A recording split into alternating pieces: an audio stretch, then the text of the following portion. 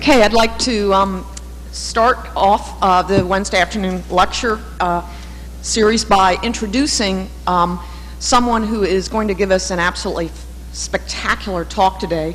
Uh, this is Catherine Dulac from Harvard University. Um, Catherine grew up in Montpellier, France. France. She's a French citizen, graduating from the École, um, the École Normale Supérieure in Paris. She then earned her PhD in developmental biology at the University of Paris in 1992. And then she moved to the US. She went to Columbia to work with Richard Axel.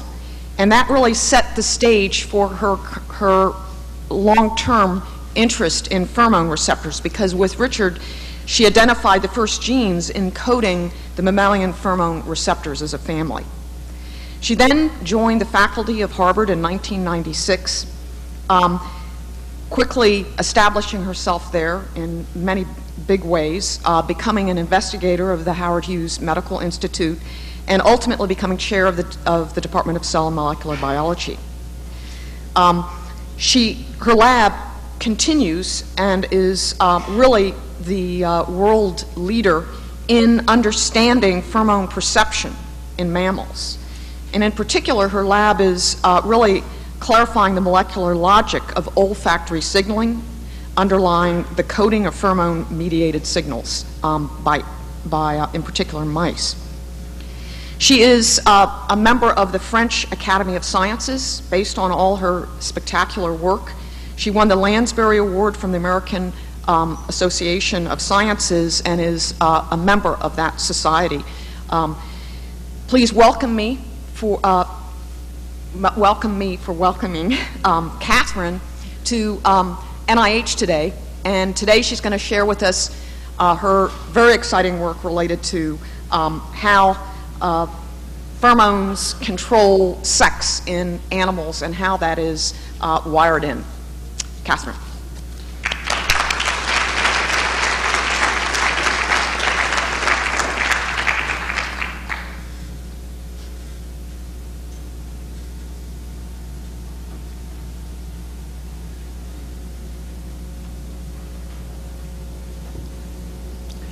Thanks, Jennifer, for the very kind introduction, and thanks for inviting me. Thanks for um, offering me the opportunity to talk about my work and organizing a terrific visit.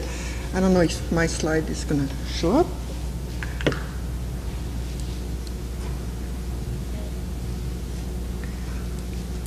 So the title of my talk is Sex Battles um, in the Brain. And actually, um, I'm not going to talk about pheromone signaling today. I'm going to talk about a different sex battle.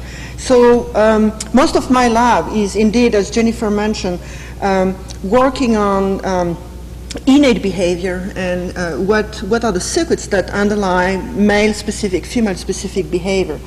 Um, but what I will be talking about today is a, a different sex battle.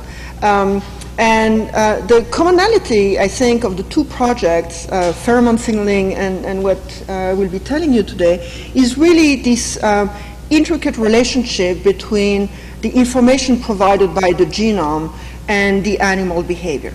Uh, obviously, uh, genes influence behavior through the development of the brain, through the type of signaling and modulation happening in the brain.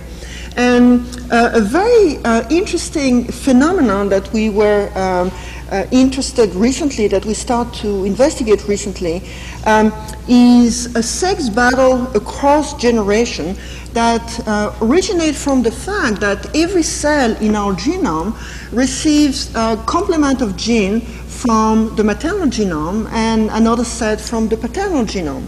And interestingly, these two genomes, although uh, identical, um, actually do not provide identical information to the cell.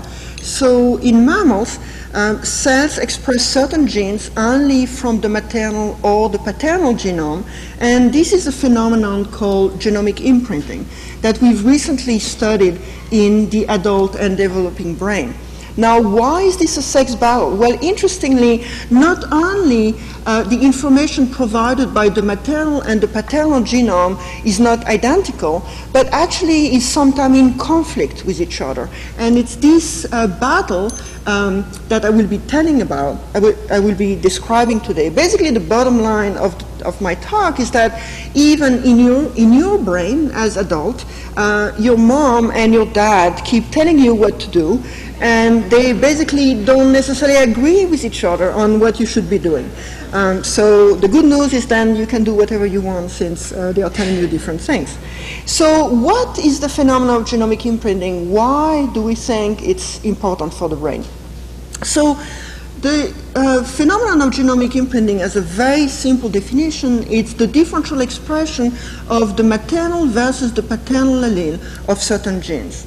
It's a phenomenon that has been identified relatively recently in the 80s um, when um, early mouse embryologists uh, were uh, doing some interesting experiment and generated what are called parthenodes and andronodes, um, which are uh, zygotes in which either the maternal or the paternal nucleus has been removed right after fertilization and replaced by a second pronucleus of the same kind.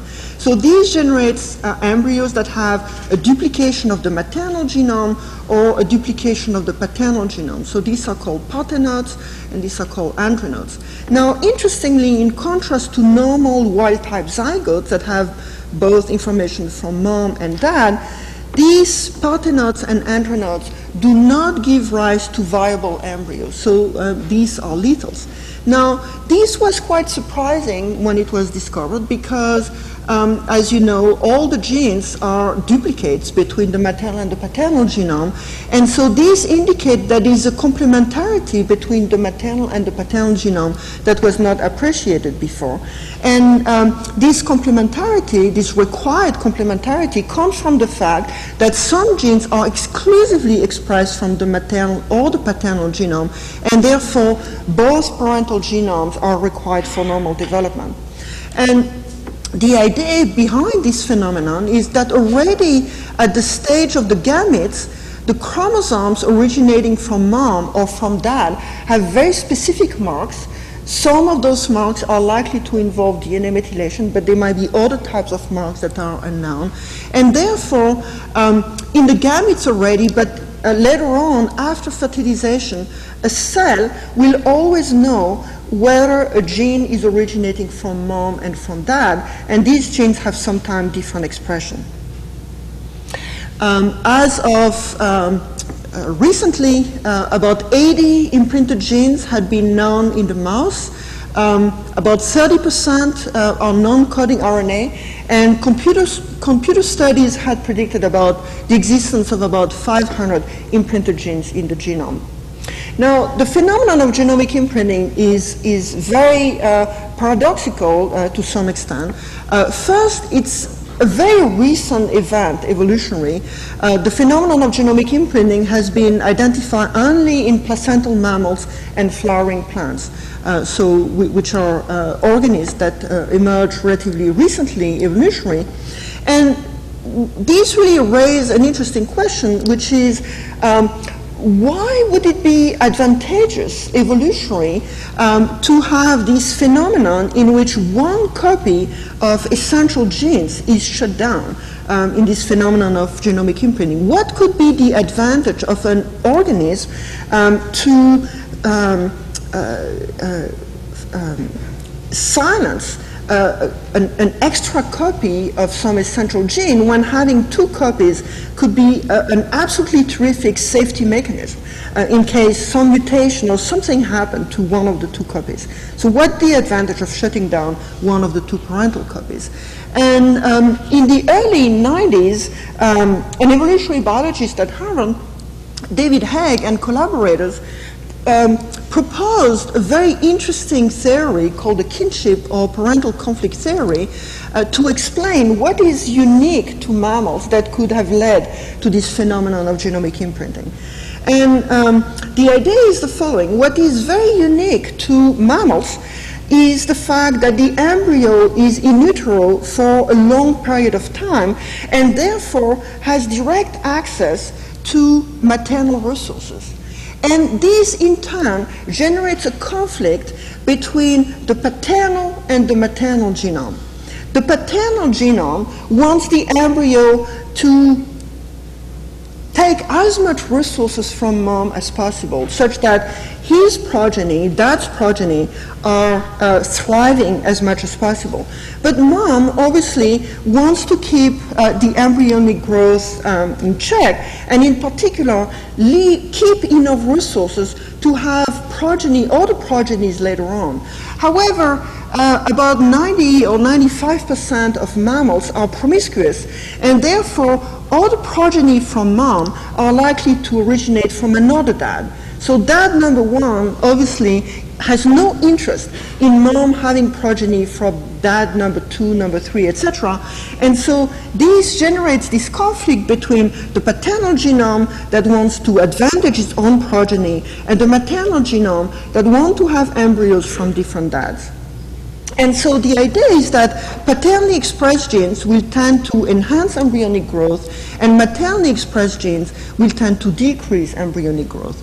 Now, amazingly, this uh, theory was emitted before the first imprinted genes were actually discovered. And when they were discovered, they fit exactly uh, this uh, conflict theory. So the first paternally expressed gene that was discovered is IGF-2. Um, it's a growth factor that promotes embryonic growth, and again, it's exclusively paternally expressed in the embryo. And the first maternally expressed gene that was discovered is IGF-2 receptor. IGF-2 receptor is maternally expressed. It's a truncated receptor that acts as an anti-growth factor. So you can see here these two genes acting in conflict with each other, one trying to promote embryonic growth, the other one trying to restrict embryonic growth. And since then, quite a number of imprinted genes uh, have been identified that seem to play similar roles in uh, fitting with the growth of the embryo. Not all of them um, uh, appear to fit with this theory, but a relatively large number of them. Moreover, um, about half of the known imprinted genes have been knocked out, and um, one can look at the effect of uh, gene inactivation. And the most frequent phenotype that is observed um, affect embryonic growth, with indeed paternally expressed uh, genes being growth promoter and maternally expressed gene being growth repressor. Now, the second most frequent phenotype that is observed affects behavioral and neurological function. And if you think about there's really no reason to believe that this conflict between mom and dad in the genome should really stop when the embryo is born. In other words, the pup has uh, feeding behavior, um, exploratory behavior, social behavior in general that could also be modulated by the differential expression of genes between the maternal and the paternal genome. So um, a question that uh, we, we start to um, elaborate on uh, together with uh, David Haig is whether uh, there could also be some parental conflict in the brain and whether uh, imprinted genes could indeed play, play an important role um, in the development and the function of the brain. And um, the existence of some syndromes in humans uh, already seem to illustrate the idea that imprinted gene could indeed not only be very important for the normal function of the brain, but actually have really interesting functions related to feeding behavior, social behavior, motivation behavior. And uh, one of the most famous set of uh, mutation with parental effects, so mutation that affect imprinted genes, are um, the so-called Prader-Willi and Angelman syndrome. Now, these two syndromes are extraordinarily interesting because they affect exactly the same cluster of genes, but in Prader-Willi, the deletion of this cluster originates from dad, and in Angelman syndrome, the deletion of the cluster originates from mom, and the phenotype of these two type of patients is extraordinarily different from each other. So here is the uh, cluster of genes that is um, deleted in these two syndromes, and this cluster contains quite a number of genes. Two of them are known to be exclusively maternally expressed, ATP10A and UBE3A, and a number of genes represented here in blue are exclusively paternally expressed. And it's because of this that the phenotype of um, the mutation originating from mom and dad is so different. So this is Prader-Willi syndrome, this is Angelman syndrome. In Prader-Willi syndrome, the deletion is inherited from dad, so none of the blue genes here can be expressed, and only these uh, uh, two maternally expressed genes can be expressed from the cluster. So the Prader-Willi has a maternal bias, and vice versa in Angelman syndrome, none of the genes indicated in red uh, are inherited, and therefore only the paternally expressed gene can be uh, expressed. In Prader-Willi, the infants show hyperphagia after weaning, impaired sensitivity to pain, frequent crying and tantrum, psychosis. In Angelman, the phenotype is very different. They show trusting personality, frequent loafer, and autistic features. And in the case of Angelman syndrome, it is thought that uh, the majority of these uh, um, uh, phenotypes actually originate from the deletion of a single gene, which is UBE3A. But in the case of Prader-Willi, it's not really very clear yet which one or which ones of these genes um, um, play a role in, in um, this phenotype.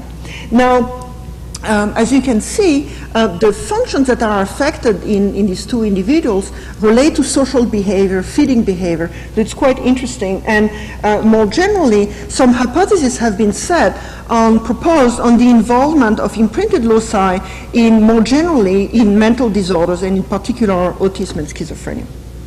Now, um, this is all uh, very interesting.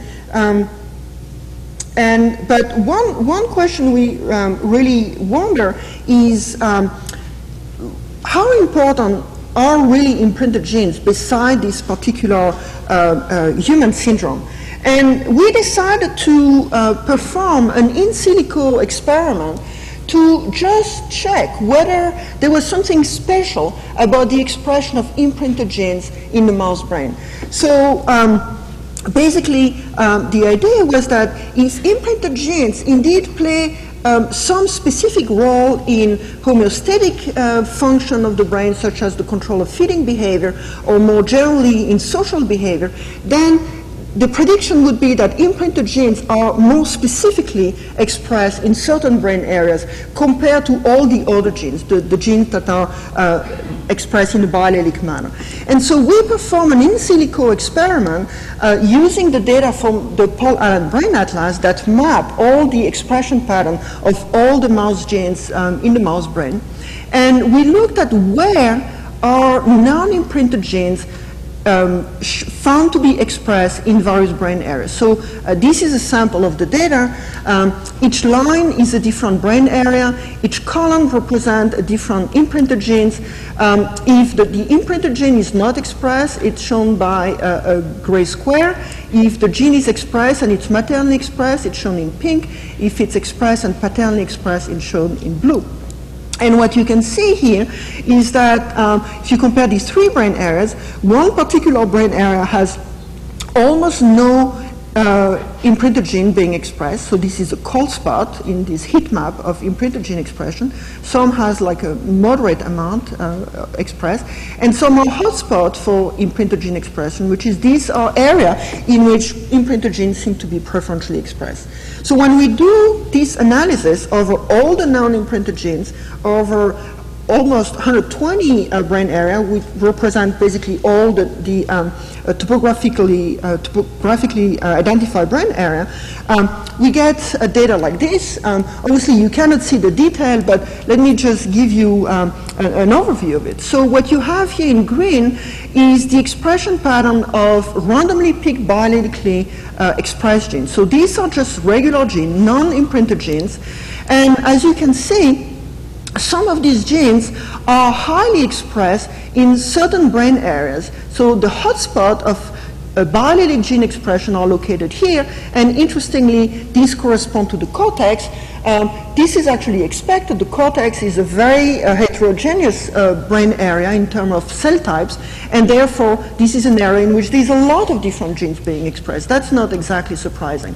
Now, here are maternally expressed genes that are ubiquitously expressed. These are paternally expressed genes that are ubiquitously expressed. And here are more interesting imprinted genes that are expressed only in some brain areas. And so if you look at the extreme left here in uh, the statistical uh, analysis, of the imprinted gene expression in some brain areas, you can see that there are indeed some brain areas that are hotspots for imprinted gene expression here and here, and those are very different from the hotspot of biallelic gene expression. And interestingly, if you look at the nature of these brain areas, those are brain areas that are all involved in social behavior, motivation behavior, and homeostasis, and in particular, feeding, energy expenditure, thermoregulation, pain, stress, reward, mating, and maternal behavior. So there's a very defined and, and very specific set of brain function uh, that seem to be associated with imprinted genes.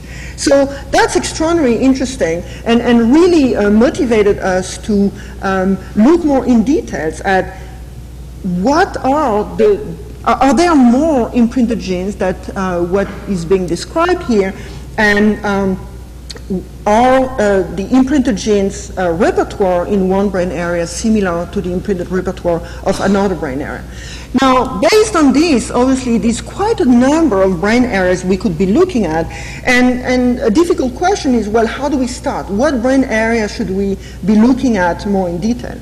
And here, we turn to a very interesting study uh, that had been published by the group of Barry Keverne uh, many years ago, um, that really pointed our attention to three very specific brain areas in which um, uh, uh, the phenomenon of genomic imprinting could be particularly interesting and different from one brain area or the other. And, and this is uh, what I'm going to be describing to you. Uh, so again, these experiments are due to the work of Barry Keverne that was published in the mid-90s. So as I mentioned to you, if you try to generate zygotes that have a duplication of the paternal or the maternal genome, these zygotes uh, do not give rise to embryos. They, they are lethal. However, what you can do is to generate chimeras um, in which these uh, parthenoids and andronoids are surrounded by wild-type embryonic cells. And these chimeras actually um, are able to develop and, and they give rise to embryos and individuals that you can analyze for the contribution of these cells that have paternal and, and maternal contribution. Now, um, very interestingly, this chimeric brain demonstrates different maternal and paternal contribution to brain structure, meaning these cells and these cells do different things. So what do they do? Well, first of all, at the level of the embryo, um, this is a normal embryo made out of uh, cells with a, uh, with a, normal maternal and paternal contribution. But if you look at an embryo in which there are cells with a duplication of the paternal genome, something very interesting emerges, which is cells that have uh, embryos that have cells with a duplication of the paternal genome have a large body and a small brain.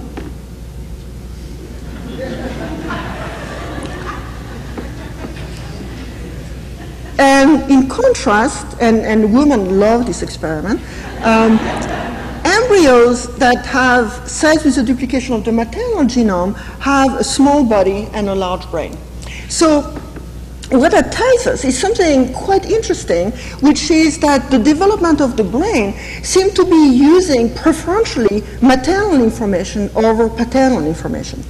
And things get even more interesting if one look at the development of this brain structure and look at where the cells with the duplication of the paternal or the maternal genome are contributing to.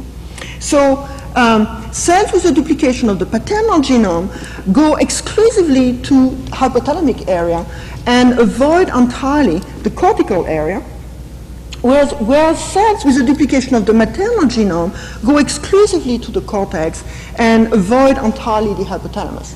Now, Barry Keverne's explanation, which you may buy or not, was that, well, you know, dad only thinks about sex, and that's what the hypothalamus is doing, so that's why the paternal genome is so important here, and mom um, is highly involved in social interaction through maternal behavior, etc., and that's why the maternal behavior, the maternal genome is so important to, to the cortex. Now, I have to say, I was reading this uh, uh, experiment, these papers, when, you know, Larry Summers, the previous uh, uh president of Harvard, was making comments on women not being able to do math, and obviously uh, that was just very uh, um, delight, I was delighted to, to read this. We, we called this the Summers experiment for quite a while. In any case, um, let me show you the data, because I think the primary data are actually extremely impressive. You know, this is not a small effect. What you see here in black are cells that originate, that have a duplication of the paternal genome versus cells with a duplication of the maternal, uh, sorry, cells with a duplication of the paternal genome here in the hypothalamus compared to the cortex. You see, it's, it's really almost black and, not, and, and white. And, and here, this is uh, cells with a duplication of the maternal genome found preferentially in the cortex and not at all in the hypothalamus. So, no matter what um, the Keverne's explanation or interpretation of this, I think for me, um, what is absolutely striking is how different the contribution of the maternal and the paternal genome are during brain development and then in different brain structures. And so the uh, next set of experiments that we decided to do was to look in depth at the repertoire of imprinted genes in the E15 brain, in the adult hypothalamus, more specifically the preoptic area, and the adult cortex, more specifically the medial, the medial prefrontal cortex. And the expectation from uh, this chimeric experiment is that we should see a preferential expression of the maternal genome in the embryonic brain, a preferential expression of the paternal genome in the hypothalamus, and of the maternal genome in the adult cortex. So the experiment that we did took advantage of uh, two uh, fundamental ideas. Uh, one, which is uh, an experimental tool that has been used a lot in the imprinting field, which is the ability to recognize genes expressed from the maternal or the paternal genome by crossing um, uh, two mouse strains, here C57, C57 and Castaneus, uh, that are very distinct from each other, have diverged a long time ago evolutionary, and therefore in which uh, each gene, the expression of each gene can be recognized as originating from the paternal or the maternal genome according to a number of SNPs. And so we are looking at the transcriptome of um, tissues dissected from F1 cross between C57 and Castaneus and reciprocal F1, in which now uh, dad is Castaneus and mom is C57. So we can easily recognize whether a gene is expressed biallelically from both maternal and paternal allele, or whether it's expressed from only the paternal or the maternal allele, and we can recognize whether this monoallelic expression corresponds to a species effect or a parental effect by looking at the expression in the reciprocal cross. So the expectation is that uh, there is a preferential expression from one of the two alleles, and this is not linked to the species from which it originates from, but from uh, the parent of origin of the allele. Uh, we um, analyzed this transcriptome of F1 and reciprocal F1 uh, using deep sequencing of the entire transcriptome of the preoptic area, the medial prefrontal cortex, the E15 brain, from the two parental strain, Castaneus and C57, in order to get our uh, list of SNPs, as well as the F1 hybrid and reciprocal hybrid. Uh, we um, perform a very deep coverage, 25 to 30-fold coverage of each transcriptome, and we have very good control of the parental bias. Uh, we uh, were able to find that over 99.6% of the SNPs of mitochondrially expressed loci and over 97% of X-linked expressed loci in males are correctly called maternal, and we also find very robust identification of non-imprinted genes. So this is an example of paternally and maternally expressed genes. These are non-imprinted genes. So this um, is the number of reads in the F1 and reciprocal F1 from each of the two alleles here, the maternal allele and the paternal allele. You can see in this cross the paternal allele, which is here C57, is um, exclusively expressed, and in the reciprocal cross, um, the paternal allele is now castaneus and is also preferentially expressed. So this is a clear paternally expressed gene, and here we have uh, the uh, maternally expressed gene, as you can see, maternal allele, maternal allele, and almost no expression from the paternal allele. So um, we've analyzed these data, and um, this was published uh, uh two months ago uh, in Science, and the results were uh, extremely interesting and extremely surprising. The first surprise really came from the sheer number of genes that we identify um, that show imprinted features. So from the original 80 genes known to be imprinted in the, in the mouse, we now have identified 1,300 genes uh, with imprinted features. Um, these can be split in two categories. Uh, the genes that were found in the UCSC database, so corresponding to coding genes, um, a little bit over half of them, about 800 of those genes, and about 700 of genes uh, found in the functional RNA da- database, which are uh, non-coding RNA. This is extremely interesting um, because the phenomenon of imprinting in many cases seem to be involving the function of non-coding RNA to silence in, in cis um, some uh, coding genes. So we think that this is a very interesting reservoir of uh, potential regulators of the imprinting phenomenon. Now, uh, what is very important is that the mean parental bias is extremely high. It's 90%, which would mean uh, for one particular SNP, there would be 10 reads from the maternal genome and 90 reads from the paternal genome. So this is an extremely robust phenomenon. We don't see all gradation from equal expression from maternal and paternal allele to um, uh, all over to total silencing of one or the other. At the SNP level, the parental bias that we see is, is extremely, um, uh, extremely robust. And also, very importantly, these results are very reproducible across independent biological samples. Um, we used uh, two uh, replicates um, in, in the original uh, Solexa analysis.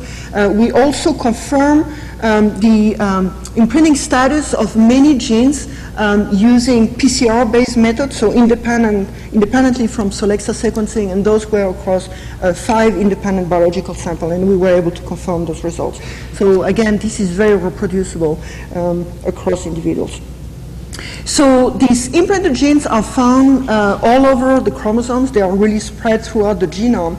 And so these first set of results really indicate that the phenomenon of genomic imprinting really is a major form of epigenetic regulation in the brain. Now, things became even further interesting when we looked at the distribution of uh, these imprinted genes in uh, the um, adult and embryonic brain. But before that, let me show you one um, example of, of a new data that, that we found, new imprinted genes that we found. So these you've seen this. This is a cluster, uh, the Prader-Willi uh, Angelman cluster with maternally and paternally expressed genes.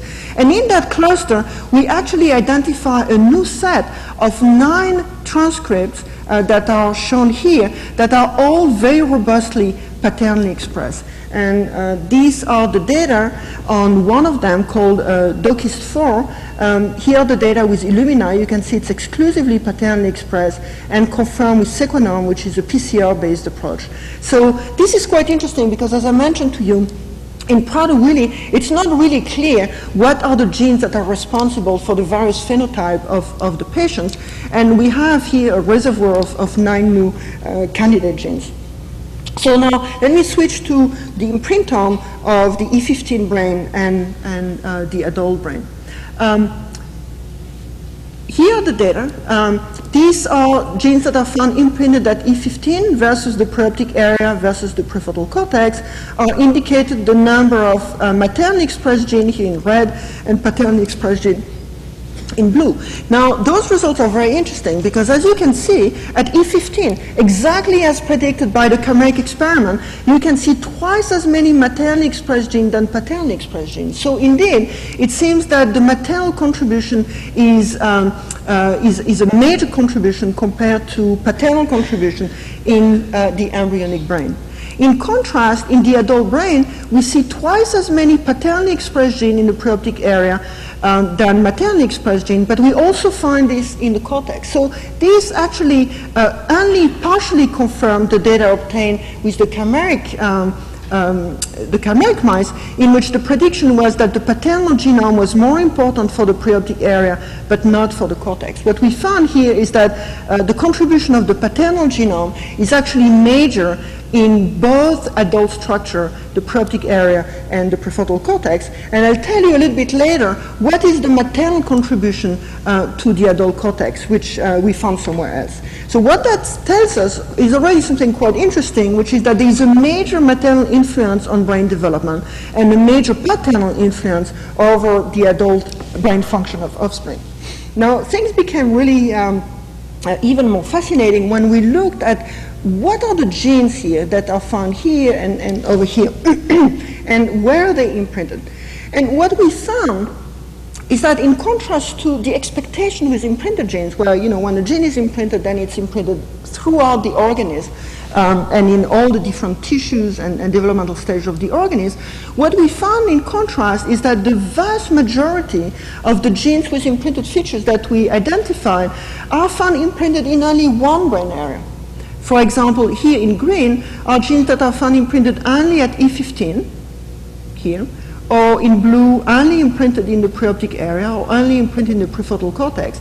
And there are only very few shown in, in those colors here, red and brown and, and dark blue and, and purple, uh, that are found imprinted in more than one brain area, two or three brain area. Now, I should point out that these genes here, for 85% of them, are expressed throughout those brain areas, the three brain areas. In other words, it's not like they are expressed in one brain area and imprinted and not expressed in the other brain area. What's happening is that they are imprinted in one brain area and expressed but not imprinted, so biallelic in the other brain areas.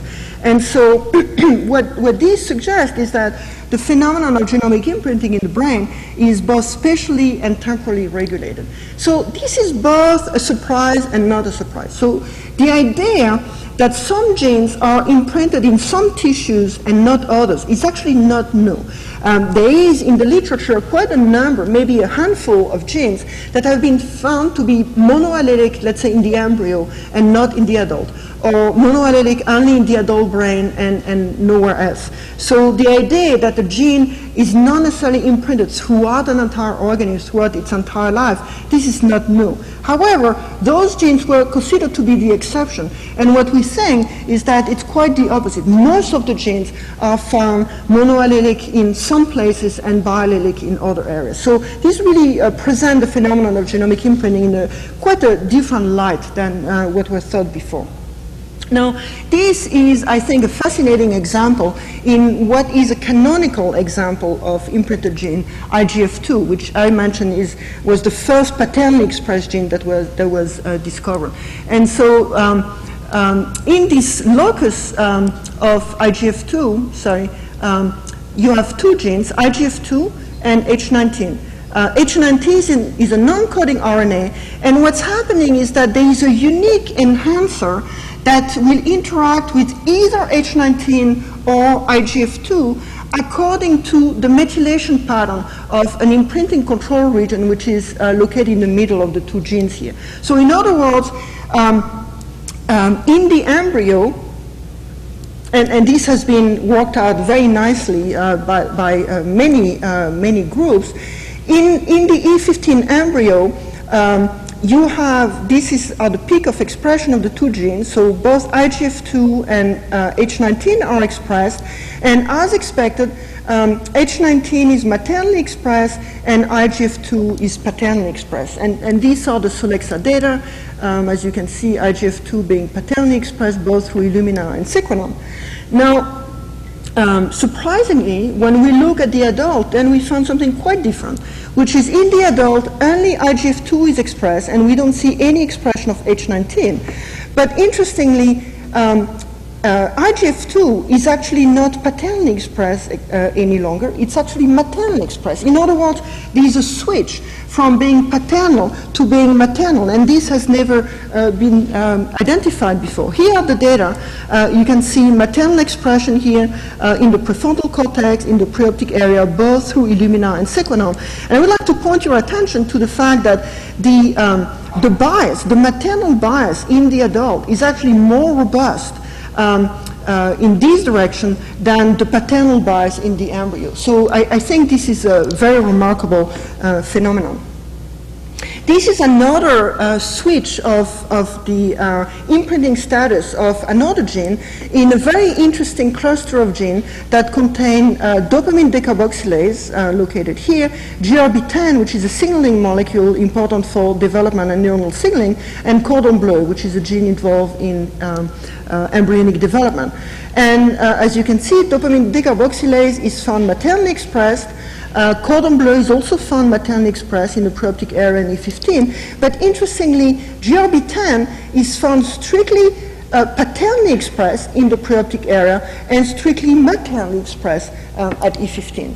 and these are the data here. You switch from maternal expression to a strictly paternal expression in the adult. So again, there is this very interesting switch of the origin um, of, of the gene expression that is occurring.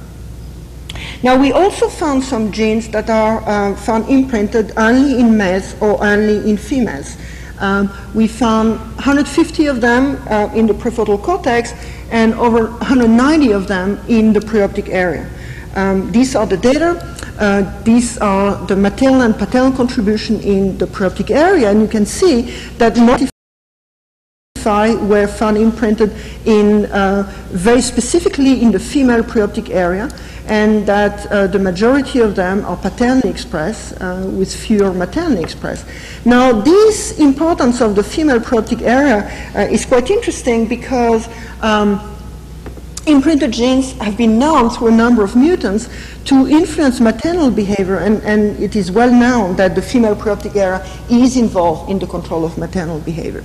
Now, I found this phenomenon of sex-specific imprinting absolutely fascinating uh, for a number of reasons. First, uh, there's this interesting idea that uh, dad is still trying to keep control of the hypothalamic function of the daughter, uh, which has a, a, kind of Freudian kind of um, thing uh, to it.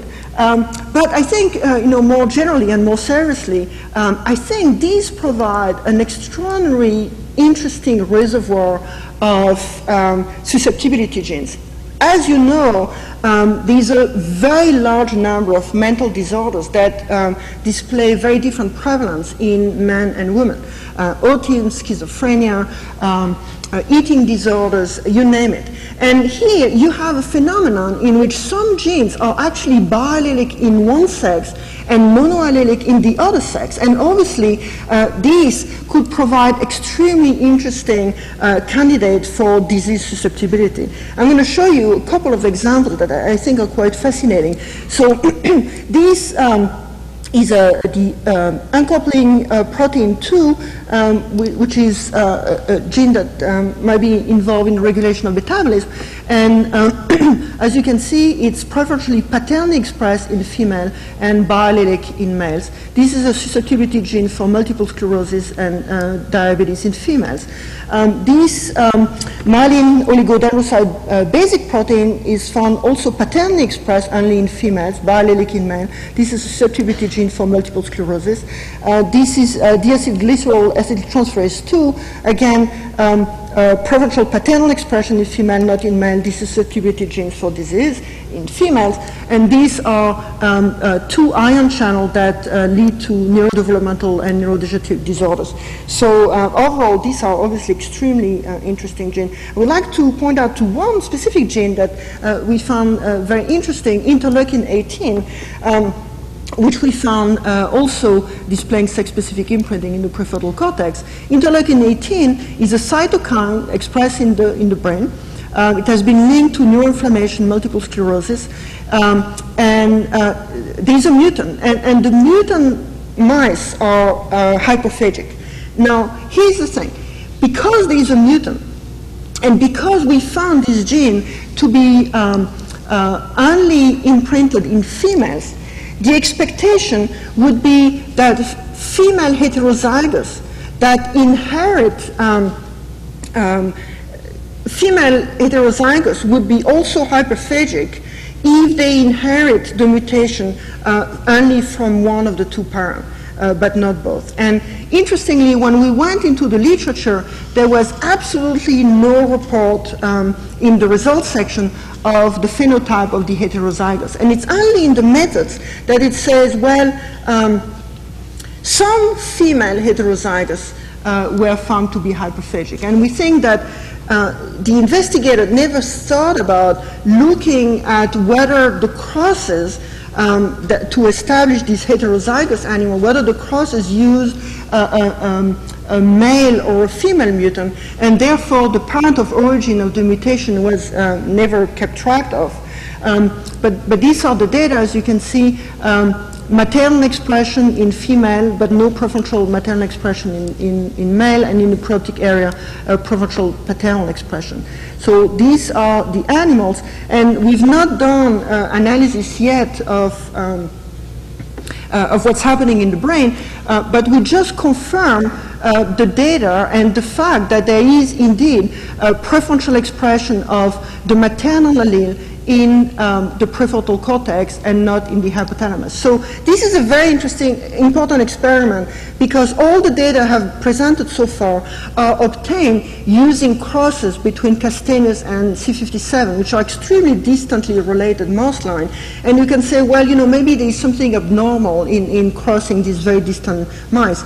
But these are um, just with regular um, uh, lab mice, C57 mice. Um, so there's not this weirdness of, of these two uh, different genomes.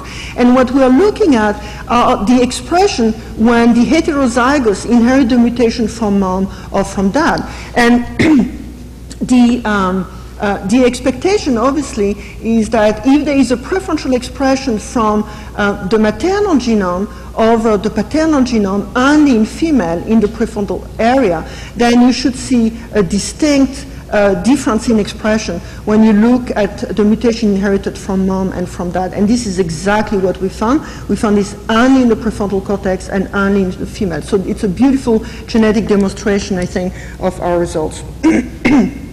Now, let me switch now to one chromosome I haven't talked so far about, which is the X chromosome. And um, everything I uh, told you so far relate to the autosomes, but the X chromosome is actually an extraordinarily interesting chromosome as far as uh, brain function is concerned. Um, first, uh, it, it, does not contain a lot of coding genes, uh, but among those genes um, is the highest ratio of neural genes over any autosome. And indeed, uh, cognitive impairments have been linked three times more frequently with X-linked genes compared to autosomal genes. So in other words, the X chromosome, although it does not have a lot of genes, um, has a disproportionate amount of genes related to the brain. So it's obviously a very interesting uh, uh, gene to look at, um, and in particular the maternal and the paternal contribution of the X chromosome in females. Males only have the maternal X chromosome, but uh, females have both maternal and paternal X. And when we looked, sorry, when we looked at the expression of the X-linked genes, both in the prefrontal cortex and in the preoptic area in the adult, we found something very curious, which is that it seems that um, the, the, the level of expression of the X-linked genes originating from the maternal X was much higher than the expression level of uh, genes originating from the paternal X. In other words, there seemed to be a preferential expression of the maternal X over the paternal X, mainly in the cortex and a little bit in the preoptic area as well. So this was just very curious, and, and we tried to find an independent method to confirm, to, to try to investigate more in depth what was going on. And for this, we um, looked at a mouse model, a transgenic mouse, uh, in which a GFP reporter is inserted into one of the X chromosome. And so um, when you have uh, heterozygous females, um, you can, um, if the GFP is originating from mom or originating from dad, you can actually visualize by the presence of fluorescence which of the X chromosome is active and, and which one is inactivated. So if you look at various tissue, for example, the skin or the muscle or the heart, um, you can see both in uh, maternal and paternal X carrying the GFP you can see this random mosaic indicating um, the activated and inactivated X chromosome. But interestingly, if you look in the brain, uh, there's something different emerging, and in the cortex in particular, um, there seems to be a very clear uh, overabundance of green cells when the GFP is carried by the maternal X over the paternal X. And you can see here, there's a 30% difference in the number of cells expressing the maternal X over the paternal X chromosome. Here's the prefrontal cortex and sensory cortex. We actually looked at five independent cortical areas and, and we confirmed these results. And in contrast, if, you, if we look at the hypothalamus, um, uh, we found 50-50 of the number of cells expressing the maternal and the paternal X. And I have to tell you that uh, uh, on Sunday, I actually got an email from a woman who um, is uh, um, involved in a foundation um, uh, to Rett syndrome. Rett syndrome is an X-linked disease, and obviously she had a huge interest in the idea that um, according to um, uh, the preferential expression of the maternal and the paternal X, obviously um, uh, the disease might have different severity. And apparently in Rett syndrome, 90% of the sporadic case actually originate from that. So um, uh, obviously there would be a huge interest to understand uh, why the maternal X is actually preferentially expressed over the paternal X and, and maybe do something uh, potentially uh, to patients. But in any case, what these results indicate is that there is a major maternal influence over the cortical function of daughters through the X chromosome. So um, if I, I summarize uh, these uh, sets of results, what we found is that there's a paternal brain and a maternal brain, and the paternal brain is the adult brain, where there's a, a preferential um, expression of uh, paternally expressed gene, uh, so a major influence of uh, the paternal genome over the adult brain function of offspring. And the influence of mom goes through uh, uh, different mechanisms. One is the preferential expression of maternal uh, gene in the embryonic brain, and also in the daughters at least, this preferential expression of the maternal X chromosome, at least in the cortex. So let me um, uh, go quickly over the, the last uh, bit of data that I would like to show you. I think there's something uh, very unique uh, also in, in the, the, analysis that we've done, and that's the um, uh, very high resolution, the SNP level resolution of the phenomenon of genomic imprinting, which is uh, provided high, by high throughput sequencing and had never been achieved so far in the analysis of genomic imprinting. So basically what we are looking at is this phenomenon of parental bias or genomic imprinting at the SNP level, which occurs um, for many genes in several locations of the gene. So for example, this gene here has five different SNPs, and we can look at the ex respective expression of the paternal and the maternal uh, gene uh, over these five different SNPs. As you can see here in um, both crosses in each of the SNP, there is an equal amount of gene expressed from the maternal and the paternal allele. This is a very clearly uh, biallelic gene. In contrast, this is also a gene that has five different SNPs, and at each of the SNP, you can easily recognize this very clear maternal bias uh, in, in each of the SNPs. So this is a very clear maternally expressed gene. But in many cases, um, this is not what we see. What we see is what we, we call a complex situation or complex genes, uh, such as this one here, in which this is a gene that has four different SNPs. And as you can see, over the first two SNPs here, this one and this one, there is a very clear maternal bias in the expression of those SNPs. But in the last two SNPs here, located here, there is a very clear paternal bias in gene expression. So how can that be? How can you have one part of the gene with a maternal bias and the other part a paternal bias? Well, in many cases, we don't know what's happening. In that particular case, actually, we think we have the explanation, and it's uh, because of the following. These genes has actually several transcripts, and the two SNPs that are located here are unique to one particular transcript. So these are located in this exon here um, that is very specific of this shorter transcript.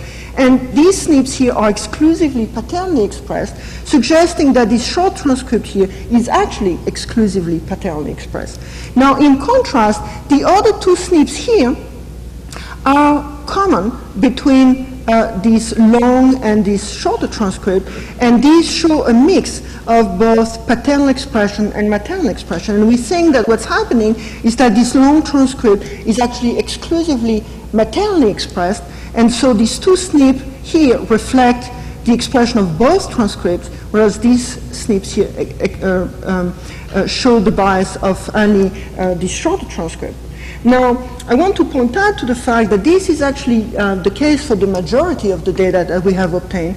Uh, we call uh, genes in which all the SNP agree consensus gene, uh, SNPs in which there is a disagreement between SNPs, complex genes, and, and these are genes in which there is only one SNP, so we don't know whether there is a conflict or not. I would like to point out that the known genes, so the, the 80 genes um, that had already been identified as imprinted, well, half of them are, uh, show consensus, but half, actually a little bit over half, uh, show a complex situation. So, um, and among our data, the vast majority of the new gene that we found show this uh, complex situation. So, um, uh, I think the phenomenon of genomic imprinting is really much more complex than what had been appreciated before. Now, what is this originating from? Well, in most of the case, we actually don't know. But for about a quarter of the case, what we found is that the SNPs are either uh, localized strictly to one particular exon or to the three prime UTR or both of them. And let me show you a couple of examples. This, for example, is a, a simple locus, uh, 15. You can see there are a couple of SNPs and they are strictly paternal. Uh, among uh, uh, other consensus genes that we found that are imprinted, uh, that we found quite interesting, is BCL2 like 1, which is a gene involved in apoptosis, and Argonaute2, which is involved in microRNA uh, metabolism. We already have obtained the conditional mutant for those genes and are trying to see whether indeed there is a, a, a specific role of the maternal versus the paternal allele in, in the expression of these genes. Um, this ORG3 is actually the example of the gene that I showed before. So you can see here this short transcript, and here these paternally expressed SNPs uh, located here. And this longer transcript here show exclusive maternal expression. And then here in the middle, uh, SNPs that are common between um, the short and the long transcript have a, a moderate uh, maternal bias, um, but not as strong as the one here. So, um, uh, so these are for this gene. Another example is this one, H13, which is a peptidase, and you can see here again two short transcripts here. Uh, with unique SNPs to the 3' UTR are exclusively paternal, and here this longer transcript here um, that shows SNPs that are exclusively maternal. And then finally another one, another example here in which uh, you have also this two transcript with a 3' UTR that has SNPs that are exclusively mat maternally expressed, maternally expressed, and these SNPs here that are paternally expressed. And so there are a number of other genes that sh we show this complex phenomenon, astrotactin 1, interleukin 1, um, dopamine decarboxylase and TRPC9, which is a gene involved in mental retardation. So um, uh, we think that there's something really very profound here in which uh, some genes show some of their splicing variants being uh, um, uh, imprinted and, and not others. So how, what does that mean? Well, we don't know what that means, and I think these relate to um, the, the very uh, complex nature of transcription.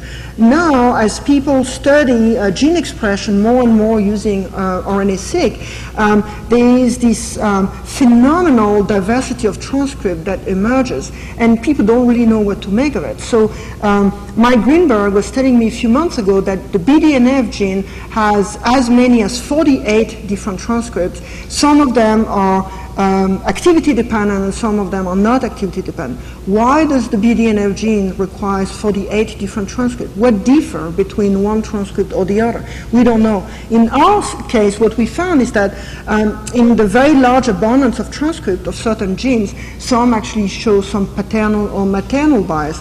It's possible that some, some of these transcripts are exclusively expressed by certain cell types, and those transcripts show uh, uh, imprinting, and some other transcripts are expressed by other cell types, and those are biallelic. Uh, alternatively, some of these transcripts might have specific function, and, and, and this is modulated through this phenomenon of genomic imprinting. So, just to conclude, um, uh, what we've been looking at is, I think, a very interesting phenomenon that originates already at the level of the parental gametes. Um, and interestingly, right after fertilization, the paternal pronucleus is entirely demethylated except for the imprinted gene. So there's something with these uh, imprinting marks, uh, these epigenetic marks that actually uh, survive this uh, very deep wave of demethylation and then um, is likely to influence both the development of the embryo and then the function of the juvenile and then the adult brain. Now, uh, you know, there are quite a lot of questions that now can be raised by this uh, cycle of genomic imprinting, erasure, uh, etc. And one of them is obviously what is the different role of these various imprintomes? Why does the embryonic brain requires to have a different set of imprinted genes than the adult brain? And why are two uh, adult um, brain areas showing different imprintomes uh, from each other.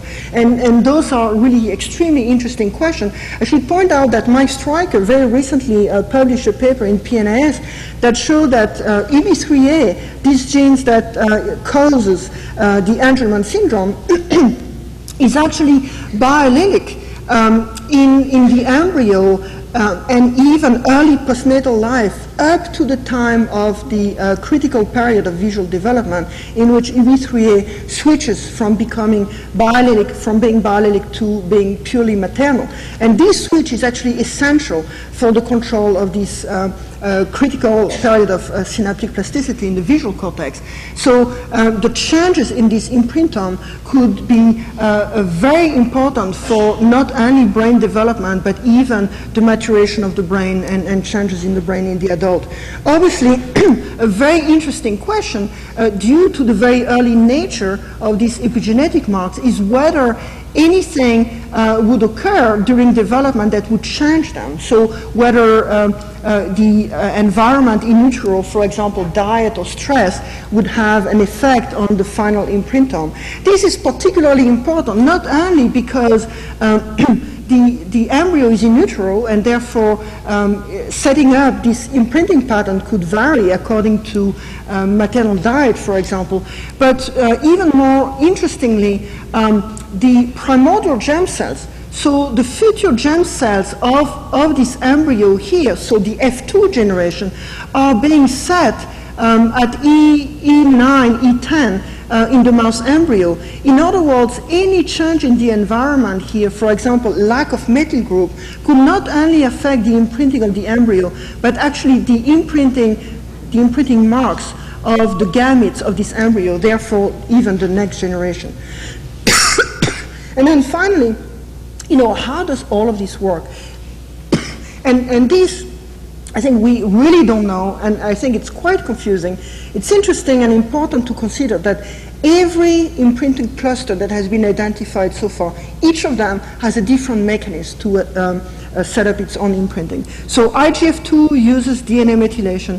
IGF2 receptor uses DNA methylation, but also require a non-coding RNA. But this gene, KCNQ1, actually does not require DNA methylation to maintain its imprinting. What it requires is a non-coding RNA, um, a polycomb complex, and a specific set of histone modification. And the reason I show this cartoon that show all the type of um, chromatin modification that are known so far is I think genomic imprinting is no different than any other type of chromatin remodeling. The only difference um, is that it's a phenomenon that is allelic specific. And um, this is what non-coding RNA are very good for, at providing allelic specificity to um, uh, epigenetic modification. And I think what's happening is that the phenomenon of genomic imprinting is a very interesting phenomenon because it's set very early, it affects many genes, and it's a way of basically shutting down the expression level by 50% or so of many genes in a particular cell type.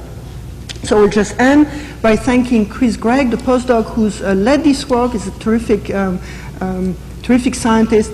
And he was held by uh, Brady Weissbourd, an undergraduate student, now Mariela Zierlinger, a postdoc, Jiangwen Zhang from Research Computing, and uh, our collaborator, David Haig, in evolutionary biology. Thank you very much.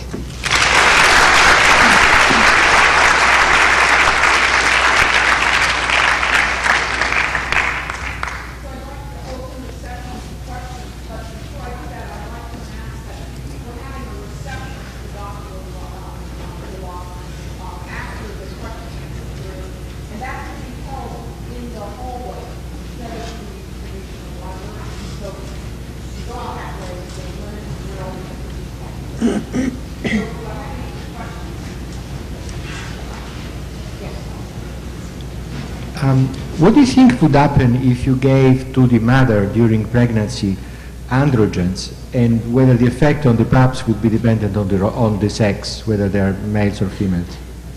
Yeah, so um, whether the sex-specific imprinting that we saw is uh, hormonal dependent, is, is that what your question is? Yeah. Yeah, it's a very good question. We've not done any of this. Um, Thank you. I'd like to know, is there any sex battle in the development of limbic system development? of the limbic system. Yeah, the emotional behaviors. I, I'm sorry, I'm not sure I the understand the limbic sy- question. The limbic system of the brain, Right? the limbic system. But what, what do you want to know? Whether we... Whether is there any, whether the sex battle is there? In- Well, you know, the sex battle, yeah, according to our um, uh, um, survey of imprinted gene expression in the brain, the limbic system is one of the main target of imprinted gene expression. However, uh, we have not looked specifically at genomic imprinting in those particular brain areas, and so what we looked at is the expression of non-imprinted genes, and a posteriori, there's a huge caveat in this because those genes might very well not be imprinted.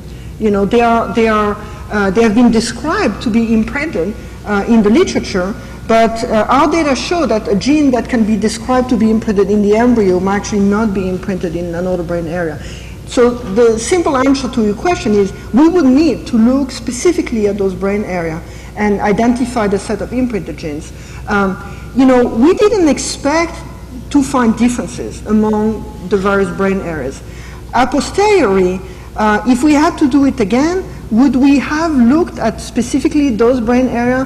Maybe not. Um, I think that uh, we, we might have looked, for example, at the arcuate nucleus, which is involved in feeding behavior, or we would have looked uh, um, at the amygdala or, or, or monoaminergic system. These are experiments that we're doing now, um, and so I don't know what the question is, but I suspect that there is. Thank you. So, on uh, theoretical grounds, could you further stratify your imprinted genes by the ones where the reduction in level is the primary cause, as opposed to where sex bias is the primary cause? Um, I'm not sure I completely understand the question because um, um, there are a number of genes that see um, a difference of expression between the paternal and the maternal allele, irrespective of whether the animal is a male or a female. And then there's a subset of genes that show a difference in maternal and paternal expression only in one sex and not the other.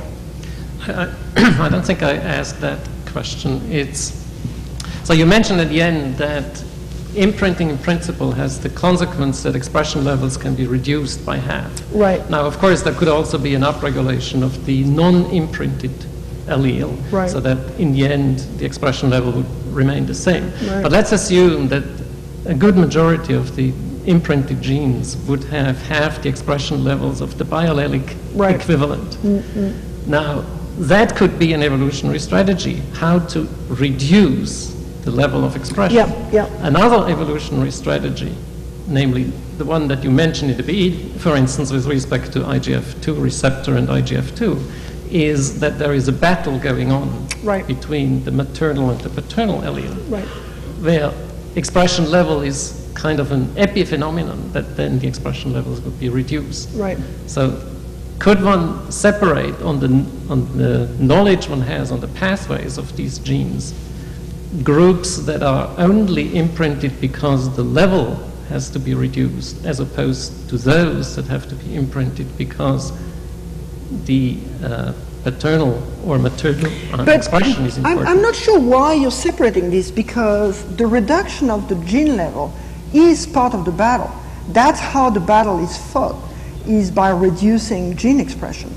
So, you know, the additional um, component um, of, of, the, of the strategy is um, it's not that dad does anything with IGF-2 is actually mom shutting down her IGF-2 gene, right? So it's paternally expressed. It means that the action is actually on the maternal genome in shutting it down. Similarly, IGF-2 receptor is maternally expressed, And dad is trying to make sure that, that, that there is no counteraction to IGF-2 by shutting down the IGF-2. So there is a little reversal here that you have to play with. Now, you know, the problem with this evolutionary consideration is that, you know, they work for a certain number of genes and we don't know whether they would work for other genes. What I can tell you is that among the genes, the largest gene category that we identify in the embryo um, are genes involved in metabolism. And so that kind of makes sense in the context of this, you know, embryonic growth and conflict between mom and dad. Um, I, am not sure I can go much further than that. You know, I'm not an evolutionary biologist, so I, I, it's difficult for me to defend evolutionary theory. I find it extremely interesting in the context of genomic imprinting. Uh, I think maybe other people should look actually at the list of genes and, and maybe do a more thorough analysis. I have a, a somewhat sim uh, more simple question. Did you find any microRNA genes being imprinted? Yeah, so among the non-coding RNA that we found, uh, a number of them are related to non-coding RNA. Actually, even in the um, Prader-Willi cluster, uh, uh, at least one or two of them are, are microRNA. Yeah, we haven't looked much at non-coding RNA yet. Yes, I have something which is related to those points. So to me, it makes a lot of sense with parental conflict theory that you uh, during embryonic development and even in newborn animals, like the, the male and the female parent will have uh, different demands on what the animal should do. But I don't really understand, like, what is the difference between the father's and the mother's um, objectives for the, for, the, for the animal as an adult? Like, so I don't really understand why imprinting is playing such a major role in the adult brain. And do you have any hints from looking at the function or the, the grouping of the adult imprinted genes? Well, for sure, uh, you, you can imagine that both at birth, when um, uh, for the pups, but also at the adult, there is also a conflict over nutrition, uh, which is dad wants its progeny to uh, thrive as much as possible, and, and mom, at least when um, um, she's uh, the, the, pups are before weaning, uh, mom wants to make sure they suckle, but not too much, something like that. Um, afterwards, you know, I, I, know that there are a number of evolutionary biologists that have all this like mathematical model of what mom and dad would want of their progeny. Uh, one that is sex specific uh, for sure is that um, you know the um, the son is a rival for dad and the daughter is a rival for mom. And so what mom and dad would want their son and daughter to do are certainly quite different. But that's only for sex-specific imprinted genes.